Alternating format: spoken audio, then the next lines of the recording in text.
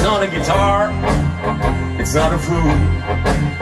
It's not even fiddle or a rabbit boot, but it can sing and it can move, and it will bring your mama in the out with smooth.